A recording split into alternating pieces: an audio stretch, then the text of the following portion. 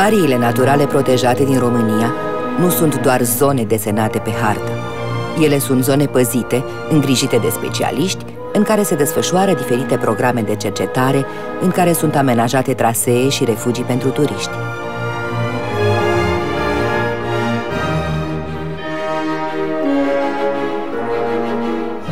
Natura are nevoie de oameni pentru a administra atât parcurile naționale și naturale, cât și celelalte arii naturale protejate. La nivel planetar, s-au reglementat mecanismele financiare care asigură conservarea naturii. E rândul nostru să ne asigurăm că prețioasele ecosisteme ale României sunt în siguranță.